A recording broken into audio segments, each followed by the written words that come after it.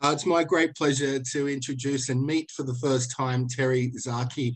Great to talk to you, mate. Uh, and Thank hello, you, Shane. hello from down under. Have you been to Australia? I have never been to Australia before. I've been to the UK, but not Australia. You know, maybe maybe one of these days, maybe. You know. Well, we are talk we are talking uh, for the UK site, the People's Movies. So I really am stoked Great. that you're with us today. Thank, you. Thank you. you so much. Glad to be here. Thank you, Shane.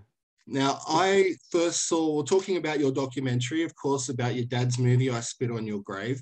Um, but Right. firstly, I'll let you know a little bit about my history with the movie. As a kid in Australia, we didn't have video nasties. So all those movies were actually uh, on the shelf to hire. You could watch them. And I Spit on Your Grave, I think in the video shop I worked at, had about three copies and Right. cons- constantly rented out and then one went missing. I remember one went missing. So it was a very popular movie. yes, I've heard that a lot of times that on the rental shelves they don't get returned because people like kept them. Yeah.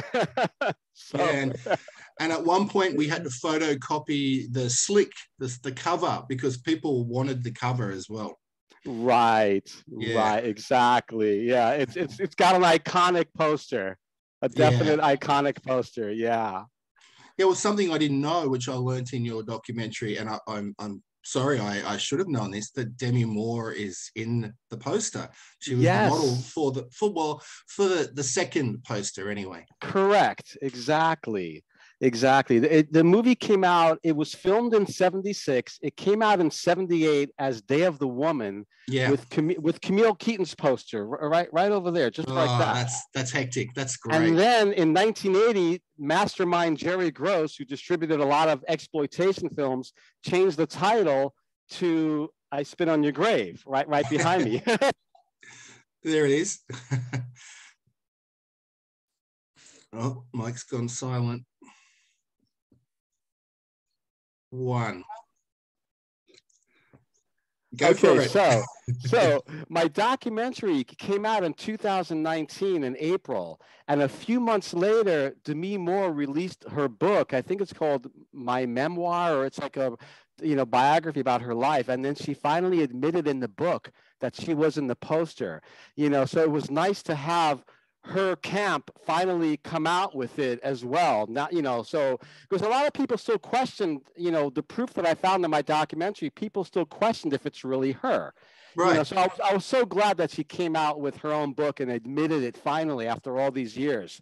You know, so thank you to me. Thank you. It was a great coincidence. Her book came out and it's closure by her admitting it. And yes. It's just- yes. it's an iconic poster. So that just adds another twist to the story. Hmm It really does. Yeah. It made it made me laugh, Terry, to hear that you got ten dollars to be in the movie. exactly. And you- that's what. That's why I was in it. You know, I had all the. I was visiting. Oh no. Fun. Back again. So what what we talk? Oh yeah, about me being in the movie. So we lived in Jamaica Hills. We drove two and a half hours to Connecticut. My mother drove me and my sister, and that was the day that they filmed my scene. I'm the little Mm. boy in the 1978 movie with my sister. When all the crew people came, you're going to be in a movie. I was shy. I was crying. I was scared. I kept saying no, no, no, no. And then their solution was that my, you know, your father offered ten dollars, and I'm like, "Eh, okay. You know? So that was the story. For ten- oh, I had a question too. very unexpected. I, I like the fact that you were actually crying and your the, the actor who was playing your mum gave you a big hug and that was in the movie was that so that was a real cry and obviously she might have been really hugging you or was that part of the script no, that was part of the script oh, actually. oh wow okay Yeah, yeah. And I was very nervous. I was pulling up my pants. I was like just like so nervous. and you know but working with alexis magnotti who played my mother in the movie i kind of knew her from being the makeup i mean the continuity gal on the film. So i kind of knew her which made it a little more comfortable for me but i was a nervous little shy kid. I wanted nothing to do with being in this movie but i'm glad i was. I'm glad they paid me $10 to you know, because Yeah. i don't know what else would have talked me into it honestly. Do, do you remember what you bought with the ten dollars, or did you save it? Probably a bunch of bazooka bubble gums, you know, at the time. Cool. Uh, did, did anyone keep anything from the movie? Was there any mementos uh, like the red canoe? Is that still around? oh, yeah. You know what? I believe the canoe still exists on the property of the house. I see. You know, it's it's owned by the uh, daughter and the children of the cinematographer. Yeah. And my my sister was just there a couple of weeks ago, actually. nice. in the house and Tam, my sister was like, Terry, the boat is here and the canoe. And I was like, oh my gosh, wow.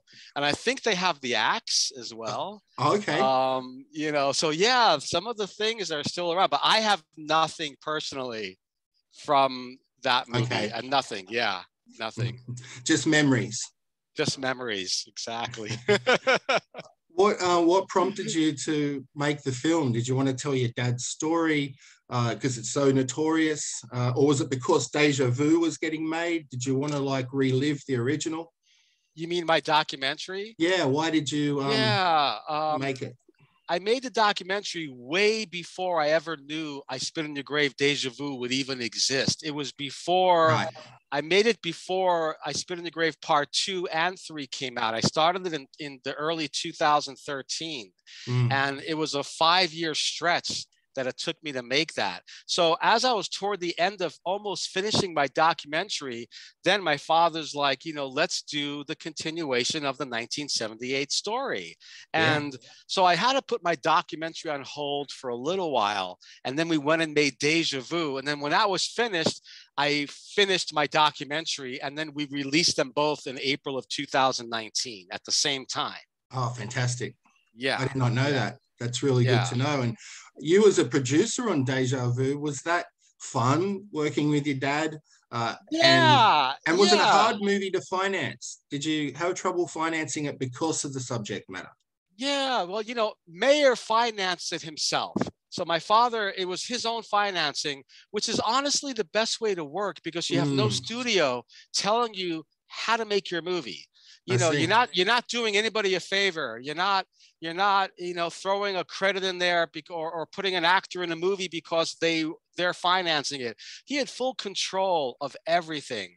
We filmed it for 29 days, uh, all around Los Angeles and it, you know we had our ups and downs making it uh, mostly ups you know we gave Meir the stage that he uh, needed to make Yeah. this movie and uh, it was such a pleasure having camille keaton back in the game It was amazing to see her again. you know, and then meeting all the actors in the movie and working with Jamie Bernadette and Maria Olson and everybody else. And then me and my sister reprising our roles, you know, as well. You know, we're also back in this one. Yeah, I Um, know. So it, it was a treat, you know, from start to finish. And it was a lot of uh, great experiences and fun times, you know. Did was there a reason why there was never any music in the original film? Was it Yeah, money money constraints or no, no. atmosphere?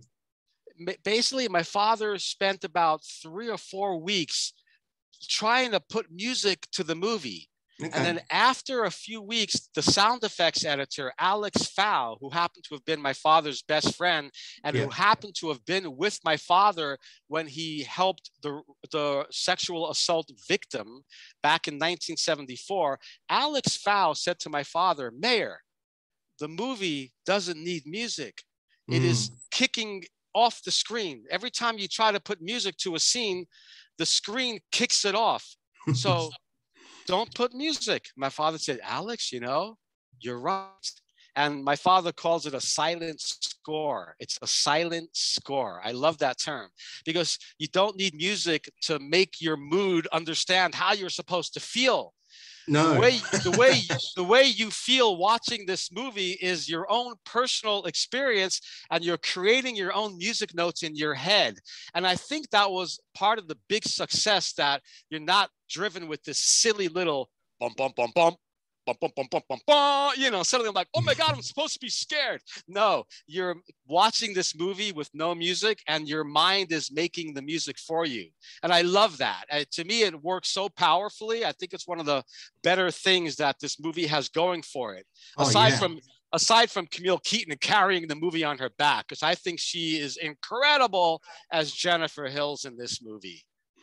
Really Yeah. incredible. Thank you for elaborating on the music thing. I know you touched on it in the documentary, but that that's really good to know that music was actually attempted to be put in, but I'm glad it didn't happen. Oh yes, he tried all different kinds of music from bongo drums to soft to threatening. I mean, he tried so many different things and mm-hmm. none of it worked. None of it worked, you know. And Alex, like I said, Alex said, don't use music, you know, and that was that. It, it's a shame Camille's career didn't explode. Do you think it was held back because of the notorious nature of the film?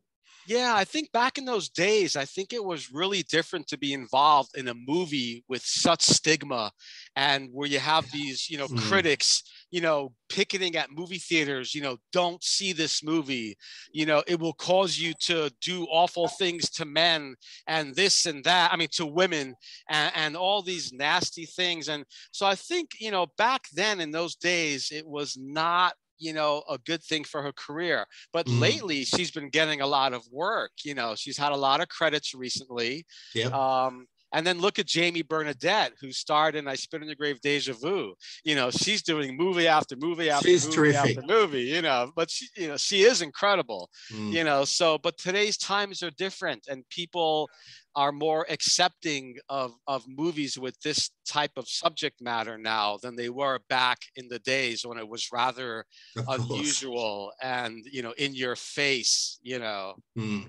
Well, relevance is something that uh, I see some movies are lost, but this is a movie that is still relevant today, and uh, it's it's tough. It's a tough subject matter to get through, and you know, It watching is, it yeah. once is from start to finish, especially if you've never seen it, can be hard. But do you think it's relevant today? The message that it's oh I, I- I think honestly i think it's more relevant today than it was back then Mm, um, and it's so unfortunate because of the subject matter you Mm. know sexual assault is a very difficult subject matter you know to to talk about. I mean even on social media you know to say the word rape you have to spell it r with an asterisk A P E because you don't want to get shut down. I mean you know i- i- so i think it's easier to enjoy a movie about murder massacre than mm, it is about watching a, a person go through sexual assault.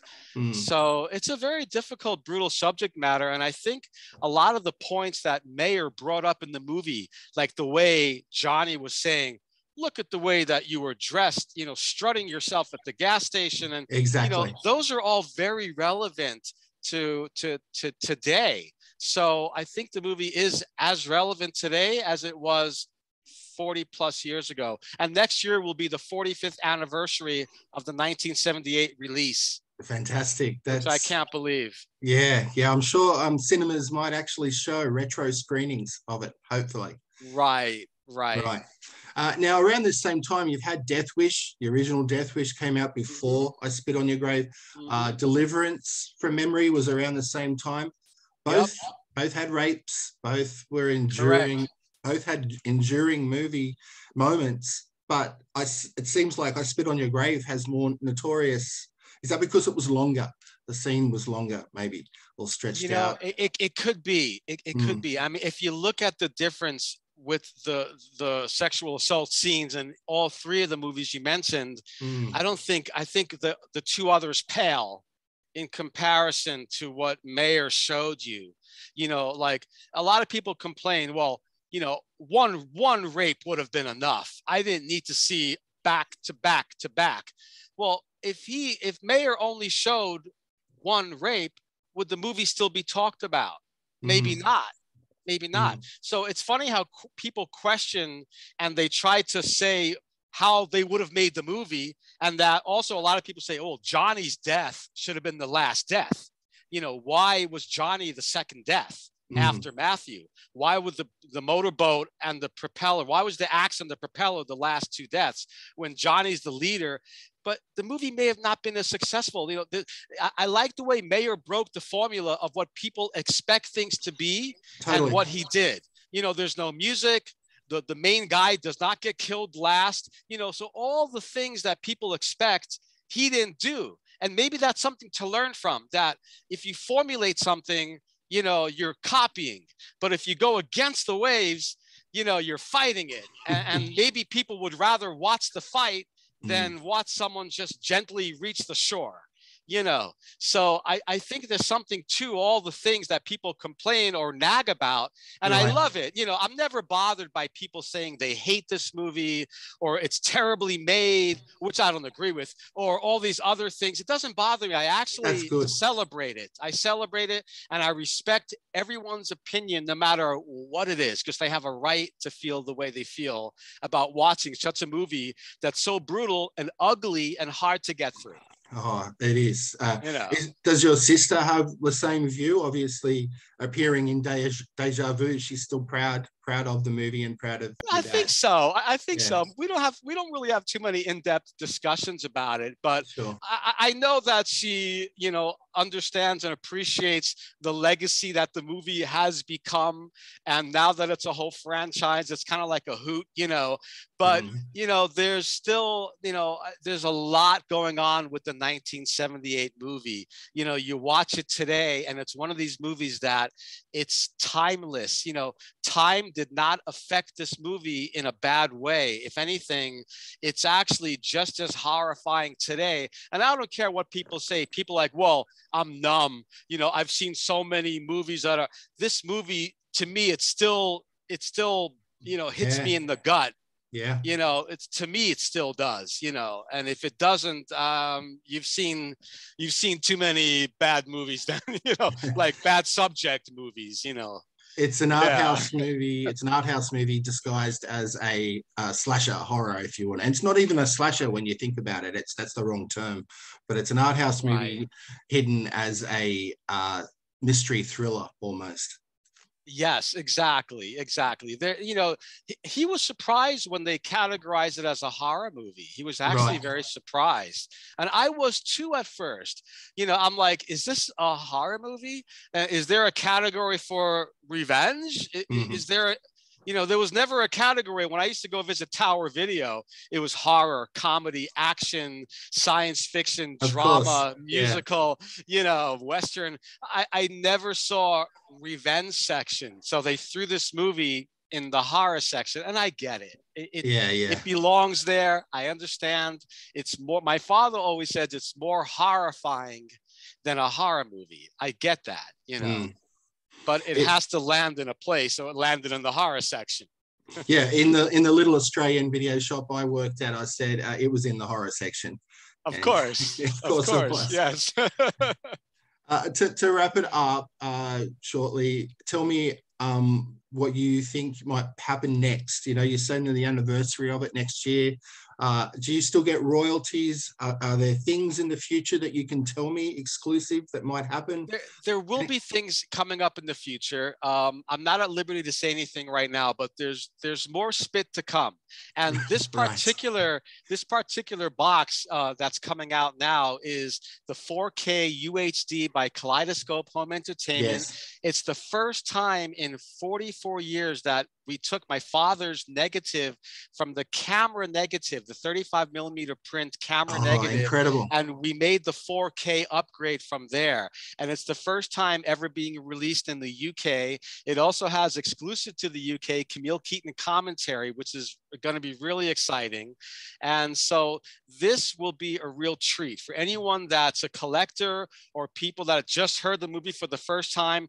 This is the go-to. Get your hands on this because it's got the 78 in 4K and the Blu-ray, and it's got my documentary. So Yep. you will learn everything you've ever wanted to know about this movie and more by getting this box set. Yeah.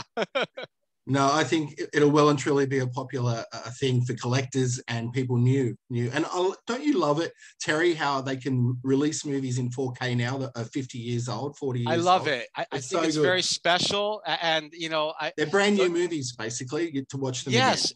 And when I watched the 4K, it was like me watching this movie for the first time. Again. the blood was so red the the scenery and the wilderness was so green and beautiful. Everything was so crisp and clear. You can see the background so clearly. And everything was just it was a new viewing session for me. And i've seen this movie too many times to mention but that was such an experience. I really enjoyed it so much. It's a uh, it was a gorgeous beautiful thing to watch with such an ugly, disgusting subject matter. You put the two together and you're like, you know, It's movie it's gold. crazy. Yeah. It is. It is. It really is. Yeah. Yeah. All right. Well, thank you very much for your time, mate. Um, good luck with everything. And I hope we cross paths someday. And, and I look forward to whatever you're up to in the future as well, producing or whatever it might be. Another cameo, maybe for 10 bucks. exactly. Ho- Hopefully a little more than 10 bucks, but yes, I really appreciate it. Thank you, Shane, for having me. It's always a pleasure talking spit with anybody and more so with you. So thank you. Thank you so much. I appreciate it. No problem, mate.